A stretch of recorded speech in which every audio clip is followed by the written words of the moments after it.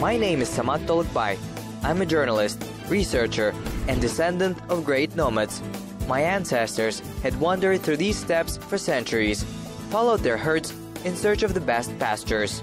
The cattle was always their main capital.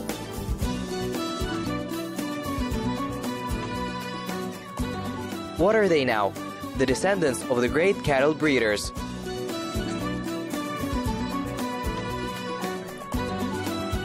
The School of Nomads, studying the past, creating present in order to build the future. In today's program, you will watch camel breeding, the oldest occupation of nomads, balkaymak, a dessert from camel milk, the healing properties of camel milk.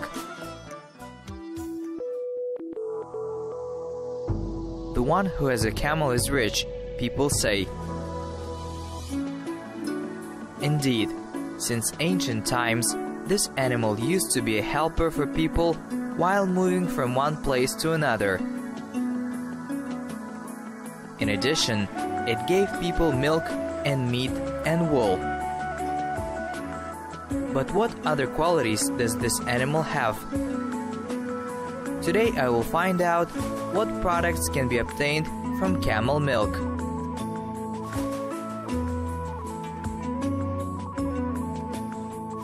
Camels are perfectly adapted to the semi-desert climate. So in the steppes of Kazakhstan, it is profitable to breed them.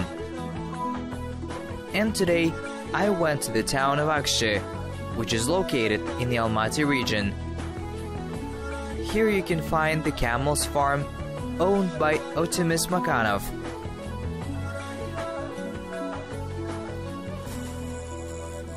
Hello, how are you? Hello, son. My name is Samat.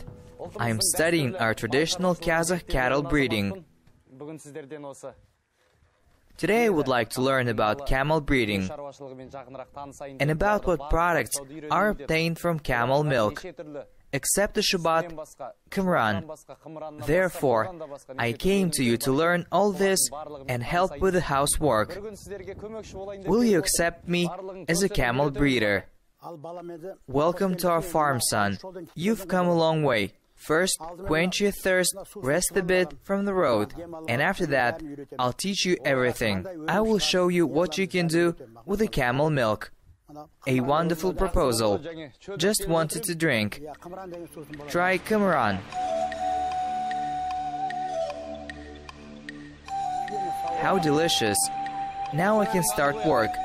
Where do we start? First, we start with the milking of the camels. Next, I'll show you how to feed, how to care for animals. Great. Then let's start. Yes, son, let's go. Fine. Otimis Makhanov has over 200 camels. Growing up in the family of cattle breeders, he knows all the secrets of the breeding. Today he breeds horses, camels, and produces traditional dairy drinks such as kumis and shubat.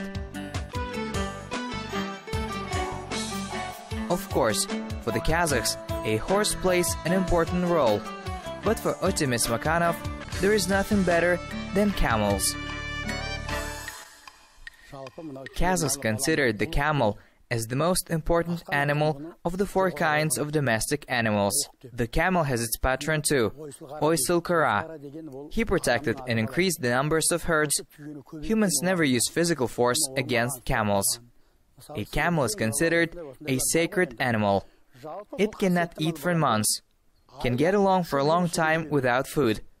It is able to wander and not drink for 40 days. Therefore, they're called oysel. Oysel has a deep meaning, like hardy, patient. A camel is a strong, hardy, and at the same time obedient animal. Most often it is kept in pastures, where a camel gets its own food. The basis of the diet is dry, often prickly desert vegetation, which is unacceptable for other animals. Camels can get along without water for a long time. The hump on the back contains fat reserves, which the camel's body gradually uses to get energy.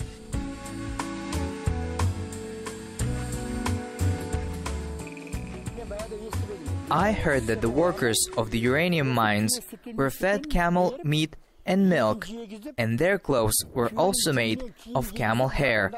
Those people were then taken for observation in Moscow. It turned out that the workers were able to avoid exposure. It is due to the power that camel wool has.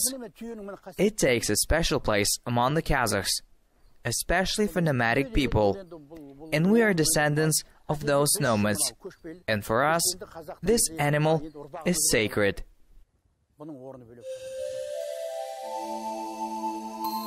In Kazakhstan, single-humped and two-humped camels are bred. One-humped camel is called a nar. Kazakhs call the female nar Maya or Aruana, and the male is called Ulek.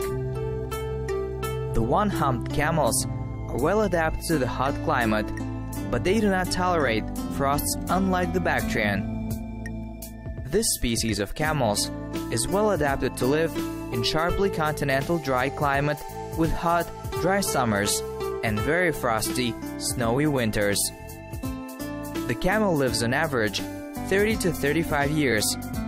During this time, up to 100 kilograms of fat is collected in the humps. A good camel per day is able to give up to 10 liters of milk, while the milking season lasts 15 to 16 months. So the whole process will take place here. I was told that you milk the camel four times per day. Yes, four times. Since the colding was done recently, and the young camels are still small and they need milk. Tell us about the process. Especially, I'm interested in milking of camels. Physiologically, the female camel has an udder like a cow. In the process of milking, as a rule, two milkmaids work on both sides. But if we let the young camel go from one side, on the other side, hand milking takes place. In a month, milking begins, and then two milkmaids will join us. Is it necessary to let the young camel come closer? Yeah. The young camel has to help with the milking process. The udder has 62 milk ducts, and only after the young camel sucks, milk will go. So without, it does not work. What is a one-time milking? Differently. There is liter or two. There are camels who give 10 liters a day and at a time for 3 to 4 liters of milk. Let's get started. That camel's name is Rita. Now we'll let its young camel go too. You try to milk.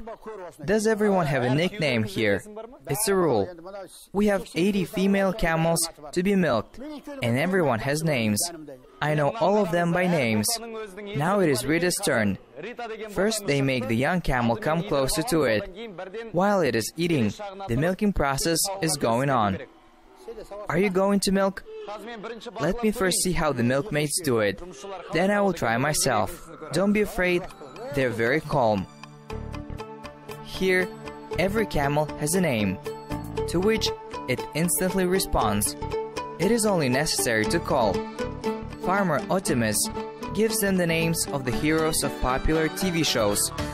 I think there's nothing wrong with that. After all, we also call our children, comparing them with these animals. For example, Botagoz is a camel's eye, or Agbata is a white camel. Really, animals are calm, so milking is not a difficult thing to do for me. Moreover, on our project, I already milked cows, mares, and camels, so I can say I'm experienced.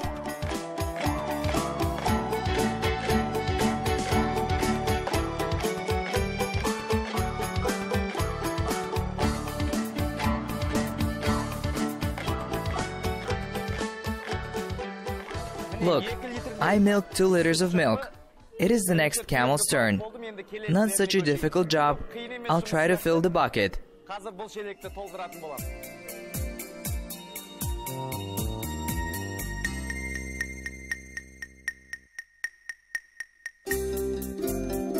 Camel's milk was one of the main products in the nomad's ration. It is a pure source of useful nutrients, vitamins, animal proteins, and fats, which have a general strengthening effect on the human immune system. This milk is hypoallergenic. In addition, it does not cause sensitivity in people suffering from lactose intolerance and also contains a large amount of immunoglobulin.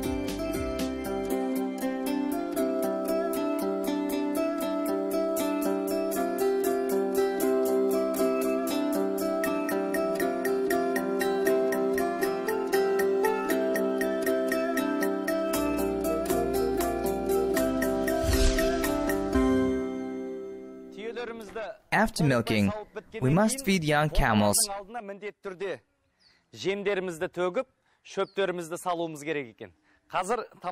Now we'll give them bran.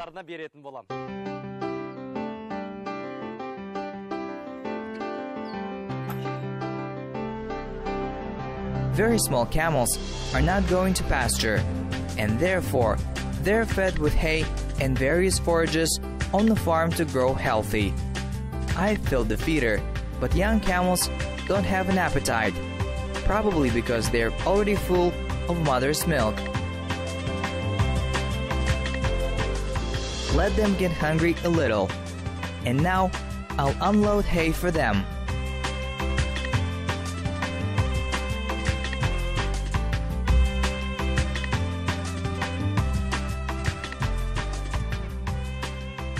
Sow the hay in the feeder. Now you should bring the camels to the yard. And they seem to be looking forward to themselves and look out. Well, come on, come out, eat it.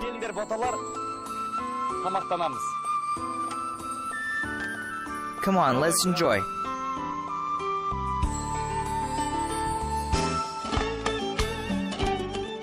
If they ate the bran hardly ever, but the hay is eaten with great appetite.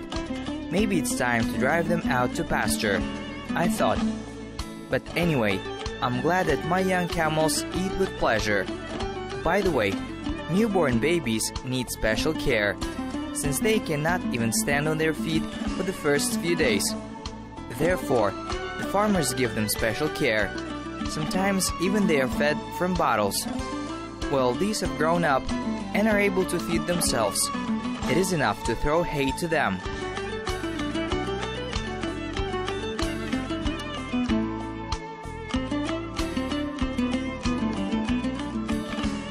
So I fed young camels.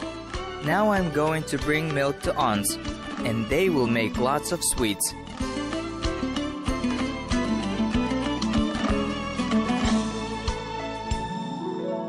Greetings.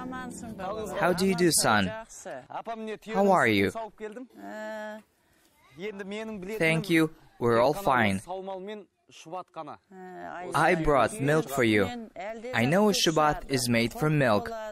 From camel's milk, you can prepare lots of things curd, cheese, balkaymak. Really? I didn't know about that. Yes, we make lots of things.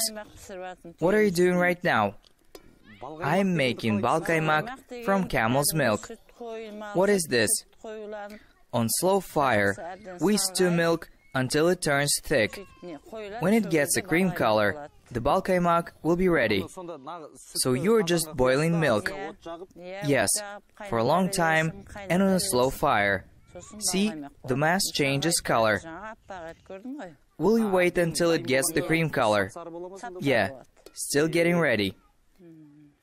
And you have to constantly stir? Yes, of course. Let me help you. In order to prepare the right balkaymak, you need to monitor the fire. It should not be strongly inflamed. It is enough that our milk will be stewed slowly. As my grandmothers explained, our goal is to evaporate all the liquid, so that only thick cream remains in the pot. Actually, there is nothing complicated. Only you should be patient, since we will boil milk for almost two hours.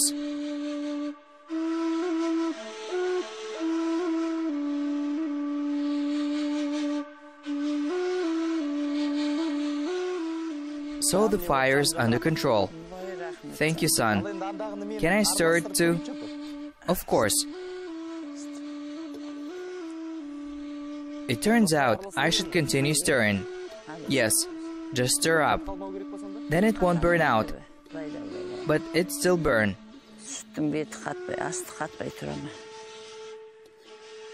And where did you learn to do balkaymak? I was taught by my parents. Kazakhs from ancient times treat themselves with such dishes. Did your parents graze camels? Yes, they did.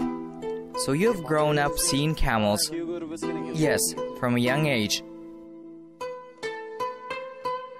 If you don't want the milk boiled over, we should stir it afterwards. Now we're preparing a balkaymak according to an old recipe that is absolutely without any additives. But in the modern Kazakh cuisine, you can add various ingredients to the dessert. Some housewives, for example, for greater nutrition, add egg or flour to the mass. It is also possible to add to the balkaymak a small amount of sugar. But according to grandmothers, balkaymak from whole milk turns out to be too sweet, so I'll try it.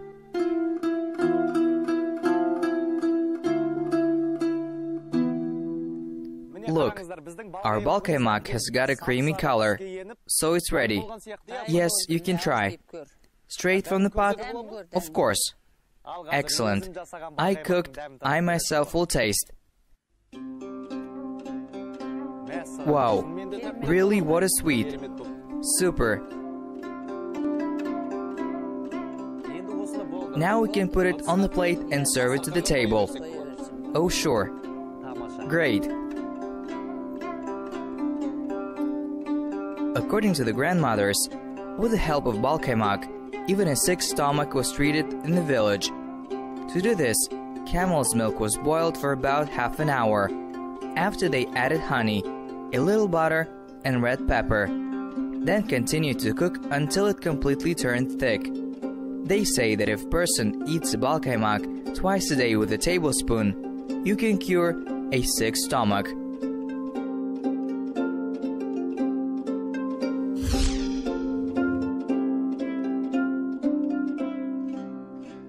I just learned to do balkaymak. Now I've come to you. What are you doing? And I'm making a curd from a shubat. Is this a real dried curd? Yes, we make from a fermented shubat. And how do you do it? I pour it into the pot and I boil it. Boiling the shubat is divided into sour cream and buttermilk. Then mass is poured into a special bag and hanged. It is necessary that all the liquid go away and then you get such a thick mass. We add salt and make a curd. And from cow's milk, people make a curd as well. Yes, the way is the same. Let me help you. I can sculpt it. But for the first time, I see a curd from camel milk. It turns out you can prepare lots of things. Oh, sure.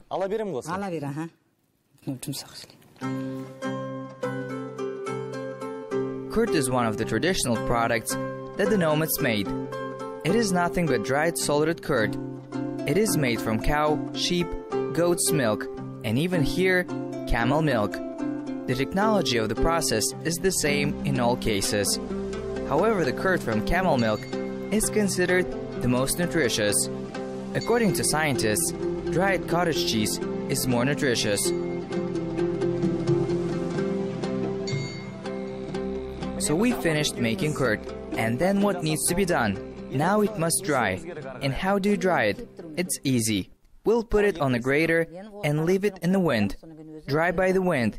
And is that all? Yes, it's simple. You do not have to do anything else. Then I'll put our curd here. In order for the curd to dry properly, it should be periodically turned over. The finished product has a salty taste and white color. By the way, there is a belief that you shouldn't eat half-dried curd, otherwise wait for rain. I do not know what connection is, but I will not be able to try this curd. Let it dry.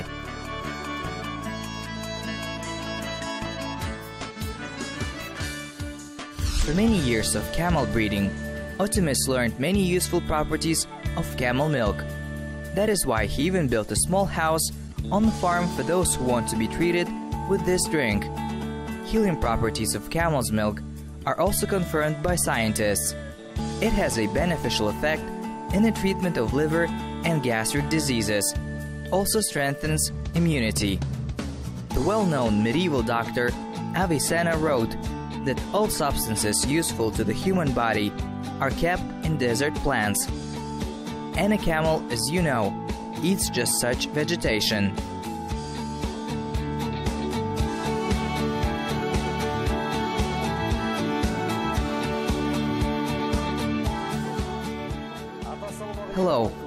Hi. Today I'm here to help with housework. I've milked myself. Drink it to your health. Thank you. Let's fill out.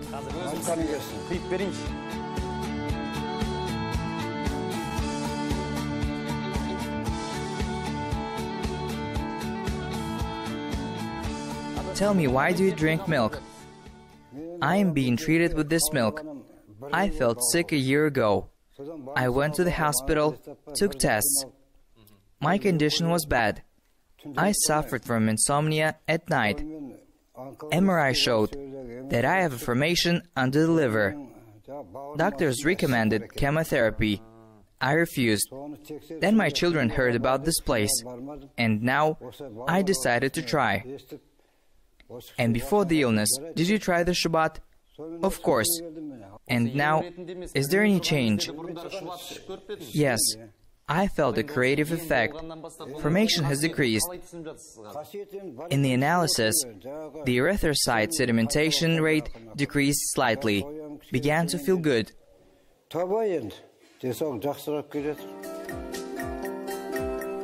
In the old days, healers knowing about the healing properties of camel's milk used it in the treatment of various ailments. This taste of a brackish drink contains 3 times more vitamin C and 10 times more iron than cow's milk. It has less fat and cholesterol. It is a good source of protein and unsaturated fatty acids.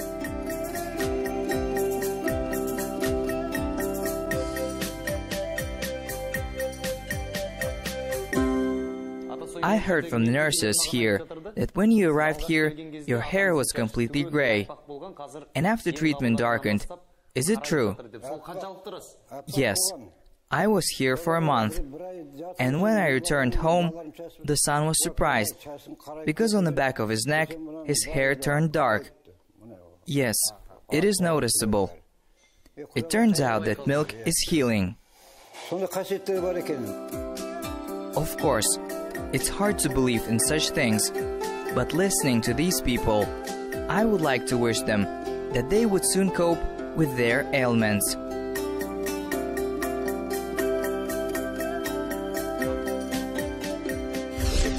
Otimisata, today from morning till night, I was with you. I learned a lot. I got to know closer the sacred camel for the Kazakhs. Also learned that its milk treats set of diseases. I wish you only prosperity in your work. Be healthy. I have a lot to learn from you. I'll come to you more. Yes, you saw everything yourself. You learned something how to milk and how to care for camels. I wish you only good luck. Thank you so much. I'll come to you again. All the best. Bye. Have a good trip. Returning from the farm, I saw a herd of camels. They went to grazing. Indeed, these animals are amazing creatures, unhurried, graceful, and strong.